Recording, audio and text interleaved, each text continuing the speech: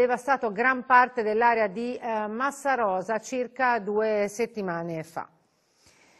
Adesso parliamo di eh, siccità, ne abbiamo parlato molto in questa torrida estate, c'è un nuovo allarme, l'ennesimo, che arriva da parte di Coldiretti Toscana. Ecco, per l'associazione ci sarebbero alcuni eh, settori a rischio a causa delle alte temperature, due su tutti, quelli dell'olio e del vino.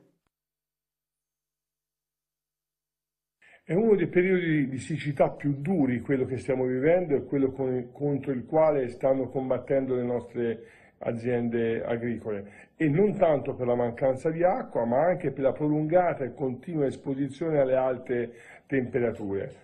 Si sta parlando di settori che da soli rappresentano circa il 60% della produzione agricola regionale della Toscana.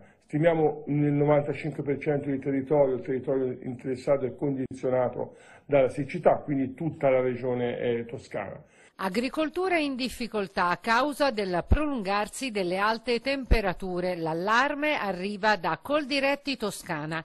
Tanti i settori in crisi, tra tutti quelli del vino e dell'olio. Questa situazione si trascina ormai nella nostra regione da, eh, fine, da, dalla fine del mese di maggio e ha, messo, ha seriamente compromesso diverse colture, pensiamo all'olivo, dove ci aspettiamo una eh, contrazione di produzione importante dovuta al fatto che le alte temperature iniziali nel mese di maggio hanno eh, drasticamente ridotto la legagione, cioè il passaggio da fiore a frutto da, per quanto riguarda eh, l'oliva, ma anche altre coltivazioni hanno subito perdite importanti, pensiamo ai cereali, la cui campagna ormai è terminata, ma si stimano perdite di produzione anche nel settore vitivinicolo, quindi in uno dei fiori dell'eccellenza della produzione toscana, dove se per, comunque fortunatamente si pensano, si, si stima un'annata di eh, alta qualità, però c'è una contrazione produttiva importante anche in questo settore.